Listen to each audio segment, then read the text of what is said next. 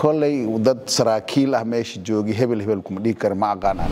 Yaa iska kaashaday oo aad tuumaysataa ani qoris shuqul kuma le laakiin kaali wey waa shaqadiinnu maxay tahay? Adi maxaa ugu diidaysaa inay dibadda wareegaan yay ahayn dadkii dagaalka. Alin la soo abaabulay oo laga soo shaqeeyay. Kulanti wanaagsan daawadayaal ku soo dhowaada ohio somaali t v magacaygu waa bashiir taajir. Waxaan idiin soo gudbinaynaa waraysi gaar ah oo aan la yeelanayno xildhibaan cali siciid fiqi guddoomiyihii hore ee baarlamaanka maamulka koonfur galbeed ama dowlad goboleedka koonfur galbeed. Cali siciid fiqi waxa uu soo noqday sidoo kale safiirka midowda yurub u fadhiyay soomaaliya. Xildhibaan ku soo dhowow ohio somaali t v. Absolutely. Waxaad nooga warantaa maalintii labaad oo ah maalintii ugu dambeysay ayuu galay shirweynaha madasha bulsho trust. Maxaad is leedahay? Ilaa iyo haatan waa ay ka soo baxeen. Runtii eh, shirkan oo shirkii ugu horreeyay oo internationalka ah ee bulsha trust ay qabatay si fiican ayaa loo soo agaasimay dad runtii siyaasadda soomaaliya wax badan kala socdo. Way ka soo qayb galeen aqoon-yahana iyo dad mataqaanaa oo ka shaqeeya arrimaha deen cafiska ee soomaaliya iyagana way yimaadeen. Wasiirka wasiirka waxaa joogay amniga. Wasiirkii hore difaaca. Madaxweynihii puntland. Marka runtii eh, maalintii ugu horeysay aad buu maarkay u fiicnaa. Maanta labaadna maaragtay eh, hadda waad aragteen doodihii meesha la keenay iyo qiimaha ay lahaayeen iyo sida waxtarka ka soo ka soo baxay. Marka maaragtay eh, runtii shirkan wuxuu ahaa mid miro dhaliyey oo aada u fiican. Xildhibaane sidaan horey u soo sheegnay jagooyin fara badan oo kala duwan ayaad soo qabatay. Haatan adigu shirka ma waxaad uga qayb galaysay marti ku marti qaadnay shirka mise waxaad ka mid tahay bulsha trust? Aniga waxaan ahay boardka oo waxaan ku jiraa bulsha trust. Waa tahay. Waxaa laga dooday arrimo waaweyn oo haddii ay hirgalaan amaba la fuliyo soomaaliya dana muhiima ay ugu jiraan. Kuwee ayaad is leedahay waa ay u muhiimsanaayeen. Kuwa la soo qaaday dhan aaday muhiim ahayn inta maaragtay eh, temaatikada la keenay doodii la keenay eh, ajendayaalka la keenay kulli waxay ahaayeen ajenda oo maaragtay soomaaliya hadda mataqaanaa gaar ahaan relevant u ah. Sidaas darteed kulli way qiimo badnaayeen. Eh, bulsha trust waa urur organization oo think tank ah ujeedadeedana ujeedada loo abuurina ay tahay in maaragtay cilmi baaris iyo raay aruuris iyo waxaas ay ka shaqeyso. Fulinta ma aha maaragtay shuqul ay ku leedahay male marka waxaa ka baxay waa waxay galayeen maarkino archiveka bulsha trust. Publicly qof kasta ayaa geli kara dhegaysan kara. Marka eh, mustaqbalkana waxaan rajaynaynaa bulsha trust inay door weyn ka ciyaarto eh, ra'yiga iyo maamulka iyo wejiga cusub ee soomaaliya loo yeeli doono. Dhinaca kasta dhinaca dimuqraatiyiinta dhinaca amniga dhinaca maaragtay siyaasadda. Marka sidaas ayaa waajibkeedii mustaqbalka ay u gudan doontaa hadduu ilaa yidhahdo marar badan ayay dhaceen shirarka noocan oo kale ah kuwa soomaalidu dhexdeeda ay qabsato iyo kuwa hay'ada caalamiyaba ay qabtaan. Inta badanna waxyaabaha laga doodo ama laga hadlo ma dhaafaan goobta shirarkaasi ay ka dhacaan maxay soo kordhinayaan baad is leedahay shirarka noocan ah oo aan ahayn kuwii ugu horreeyey kuwii ugu dambeeyey midna horta shir kastoo la qabto ujeedkii loo qabto ayaa ka weyn. Ujeedkii loo qabto hadduu ahaa mid maaragtay eh, mucaaradeen iyo ama maaragtay mid oo iska laablakac kaa meeshiisu ku dhammaanaya. Kan waa urur organization oo cilmibaaro ah oo maaragtay ka qaybgali doona dib u dhiska soomaaliyeed. Sidaas darteed kan wuxuu la yeelanayaa archives. Berito nin alle ninkii fikir rabo oo maaragtay ka rabo oo waxyaaba annaga aan soo jeedinay u arko inay relevant yihiin fikirka wuu isticmaali karaa. Marka eh, waxaan rajaynaynaa in bulsha trust ujeedadan u asaasna ay tahay in maaragtay ay ay runtii isbeddelka siyaasadeed iyo iyo iyo horumarka soomaaliyeed ay ka shaqeyso eh, bulshada isku keenisteeda iyo mataqaana waxyaabaha loo baahan yahay. Marka sidaas darteed sanadaha soo socdana wax weyn ay qaban doontaan rajaynaynaa. Xildhibaan waxaa tahay mudane ka tirsan baarlamaanka soomaaliya. Waxaa inta badan la arkaa in xildhibaanada baarlamaanka soomaaliya ay yihiin kuwa dibad wareega. Taa waxaan ula jeedaa in ay yihiin dad ku sugan ama u dhoofa inta badan dalalka dibadda hab ahaadaan kuwa deriska la ah soomaaliya. Goormo ayaad shaqaysaan? Adi maxaa ugu diidaysaa inay dibadda wareegaan? Shaqadiinnu maxay tahay? Fiiri shaqada xildhibaanka ma aha inuu baarlamaan keliya u fadhiyo. Ani hadda waxaan ka tirsanahay foreign affairs committee. Ya arrimaha dibaddaan ka tirsanahay.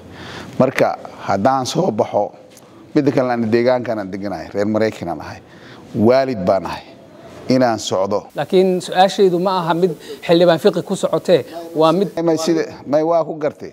Laakiin xildhibaanada inay wareegaan fikri dadkay soo dhexgalaayeen diaspora la sheekaysanayen fikray ka qaadayen waddankay u celinayen soo wax dhib ah ka jiro. Nin aan waajib gudanayn aan meeshii tegayna sheeko kale waa laakiin kulli ma laysku soo qaadi karo lama dhihi karo xildhibaanadii waa wareegaan oo waxay qabtaan male waxay ku sugan yihiin maqaayadaha qaxwaha laga cabo ee nairobi iyo adisababa iyo jabuuti iyo dalalka dariska ah. Kuwaasi mashaqooyin bay ku maqan yihiin. Badanaaba inta joogto soomaaliya maalin kasta baarlamaanka markuu furan yahay tiradii la rabo waa la helaa. Inta kale hadda banaanka iska joogto iska wareegaya dad kheyr mas'uuliyiin waay ani mas'uul kama ihi. Laakiin lama dhihi karo xildhibaanadii oo dhanaa sidaa ah. Ma garate midda kale haddii baarlamaanku uu xiran yahay oo qofka uu fariisto maxaa la maqaayad nairobi ku taala dee ani dhib uma arko xildhibaane waxaa tahay xildhibaan ka tirsan baarlamaanka soomaaliya deegaanada aada matasho dhowaan waxaa ka dhacay dagaallo dagaaladaasi dadka dagaalamay magacyo kala duwan baa loo bixiyey maleeshiyaad ciidamo dowladeed dagaaladaasi maxaad kala socotaa yay ahayn dadkii dagaalamay dagaalada waa la socdaa deegaanka uu ka dhacay waa deegaanka aniga wakiilkaan ka ahay aan ku dhashay ku soo koray wax ku soo bartay laba ciidanaa isqabtay ciidan daraawiisha wax maleeshiyaad ma jiro ciidan qaran ah sne labadii ciidan waa isku dhaceen. Runtii nasiib daray ahayd inay isku dhacaan. Arrintii waa la galay. Mar haddii uu dagaal dhaco dadka soomaaliya waa taqaana waa kala safanayaan ya wixii waa la siyaasadeeyey at the end of the day siyaasiyiinta markaa u sarraysa waddanka oo dhinaca koonfur galbeed madaxweyne cabdicasiis iyo madaxweynihii qaranka xasan sheekh ayaa arrintii la wareegay iyagaa xaliyey maanta magaalada ammaankeeda iyo maaragtay wax ka qaldan ma leh.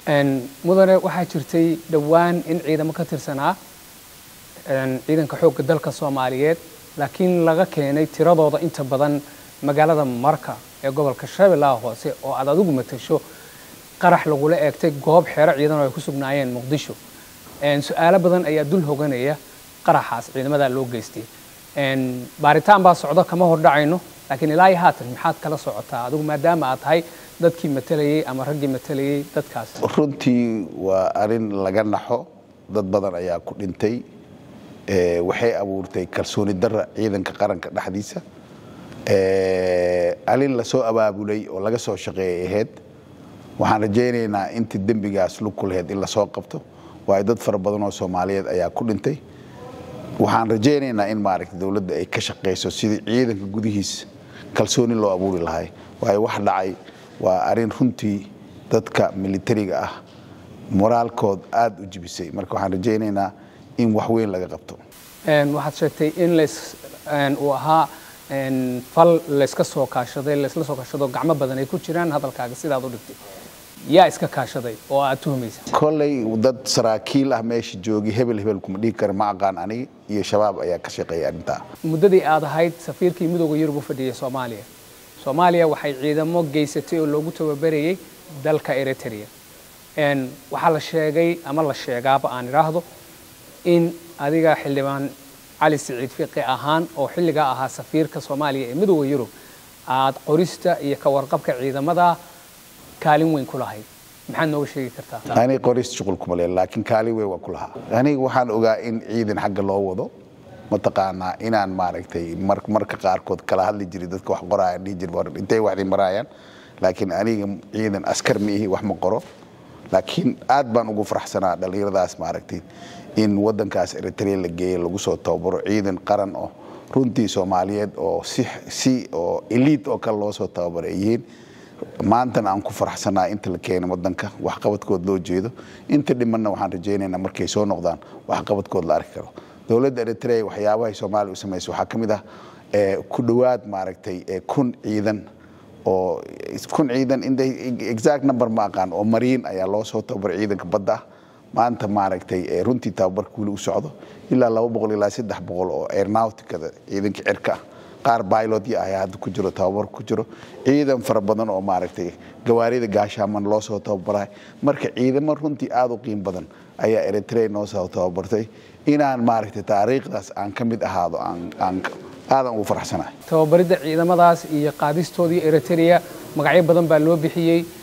Hadallo badan baa ka dulyeeray adigu cali fiqi ahaan ciidamadaasi dadku waxay aaminsan yihiin in la siyaasadeeyey kuwa la keenay iyo kuwa maqanintaba kuwa kuwa la keenay. Ilaaya haatan ma nooga sheegi kartaa waxaa la sheegaa inay firdheen oo ay magaalooyinkoodii kala galeen. Maxaad kala socotaa aniga waxaan kala socdo waxay ahaay waxay tahay in ay fasax aadeen ay soo wada noqdeen. Ma fahanti runtii waa la siyaasaday ha waa la siyaasaday.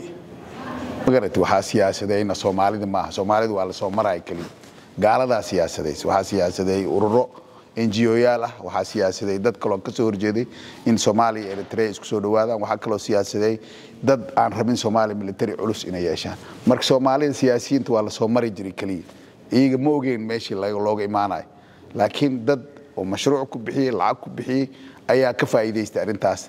Burburkeedna runtii ilaa hadeertaan dabada ugu jira. Marka la eego xaaladda soomaaliya haatan dowlad ayaa haatan ka jirta. Dalkii madaxweyne xasan sheekh maxamuud uu madaxweyne ka horkacayo muddo sanad iyo dhowr bilood ayay dowladdaa jirtaa. Dowladdii hore waad la soo shaqaysay. Saaxiib dhowanna waxaad la ahayd sida la sheego madaxweyne farmaajo.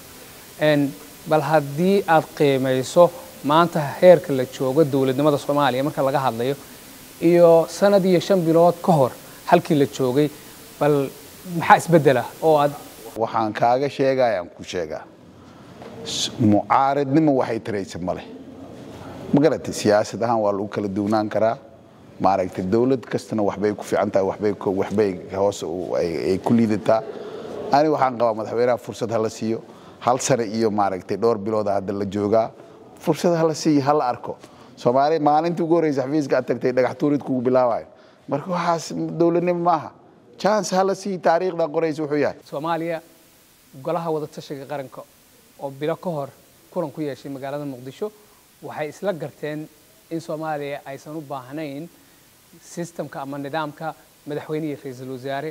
Taa beddelkeedana uu dalku ay u fiican tahay inuu qaato madaxweyne madaxweyne ku-xigeen shirkaas oo waxyaabo badan looga hadlay taasna ay qayb ka ahayd. Adigu xildhibaan baa tahay ma qabtaa in soomaaliya laga laga bedelo sida ay haatan tahay madaxweyne iyo ra'iisul wasaare oo loo wareego madaxweyne iyo madaxweyne ku ani actually articlean ka qoray. Haddaad fiiriso hiiraan online aad ku arki doontaa. Parliamentary versus presidential system. Ma garatay marka labadooda mid walba mid meel buu ku fiican yahay meel buu ku liitaa. Laakiin haddii ay soomaali ay go'aan ku gaarto inay u guurto presidential system u guurto waxay u baahan tahay in dastuurka dib loogu noqdo. Ma aha dastuur keligeed awoodda baarlamaanka kow in la qeexo awoodda madaxweynaha in la qeexo. Wixii laysla meel dhigo. Ma fahanti? Sidaas darteed waxay u baahnaanaysaa muddaxileedkan ma suuragalaayo laba muddaxileed kalo in la siiyo arrintaas laga shaqeeyo. Sidii mataqaana markaas dadkii ay u gartaan? Waxa loos meeshay ka tagaayeen meeshay u socdaan. Maxay dhahaan mataqaana presidential systemka? Madaxweynihii run waaye waa executive waaye awood uu leeyahay ma ka vice president uu lahaana asaga vice presidentgiis waxaa hal tikada isla ma garatay laakiin awood dictatoriyad haddaad siisid wuxuu rabu ku kacay. Dee mana qabato tii lagu kala tagay waaye sagaashan iyo kowdii soo ma? Waxaa loo baahan yahay in si fiican loo qeexo awoodda baarlamaanka la qeexo. Ma garatay si markaas loogu guuro mid kasto si kasta loo qaato waxay ku xiraanaysaa dadka markaas madaxda noqdo. Haddii aysan diyaar u ahayn transparency accountability rule of law haddaysan diyaar u ahayn. Kudka guur qanj guur waayo wax oo ay ku kala duwanaanayan male laakiin haddii loo jeedo in wax la saxo oo laakiin dowladnimo la aado dee waxaan ka qaba male ugu dambayntii tuhun ayaa jira. Tuhunkaas oo ka dhashay shirkaas ay yeesheen xubnaha madasha qaran. Kaasoo ah in uu jiro wakti ku darsasho ama wakti kordhin loo sameeyey madaxda maamul goboleedyada. Sidoo kalena madaxda dowladda federaalka oo madaxweynuhu ugu horreeya arrintaa maxaad kala socota? Horta waxaas maarkilo legally binding maaha wax sharciyan oo dastuuriyan maaha baarlamaan oo oo baarlamaankii soomaaliya go'aan kama gaarin. Kow madal ayaa shirtay. Go'aankooda waxay ku xiran tahay baarlamaanka in la keeno weli waxayse ku xiran baarlamaanada kale in la geeyo yidhahdaan iyagana ay ogolaadaan. Marka process dheer waay laakiin maaha legally binding waa fikrad la soo haddii la rabo waa la qaadan kara haddii kale waa laga soo jeeda tusaalaan kuu sheega dadkii loo kordhiyey waxaa ka mid ah dowladda puntland. Deni wuxuu taagan yahay daqiiqad ma ku daraya ani doorashaan galaya marka waa fikir ay keeneen dadkii keenay iyagaa maaragta ujeeddadii ka lahaa iyagaa ka sheekeyn doona haddaad waraysi fursad u yeelataan. Laakiin ani waxaan qabaa waa fikrad wax qoraal oo outcome ka soo baxay shirkaas ayuu ahaa laakiin mid legally binding weli ma noqon. Adiga xildhibaan ahaan fikirkaagu xaggee jiraa? Aniga waxaan aaminsanaha in hal daqiiqa lagu darin. Daawadayaal intaas ayaan ku soo gabagabeynaynaa waraysiga aan la yeelanaynay xildhibaan cali siciid fiqi oo ka tirsan baarlamaanka federaalka ee soomaaliya. Barnaamijka anigoo bashiir taajir ayaa idinla socodsiinayey tan iyo kulantideenna dambe. Sidaasii nabadgelyo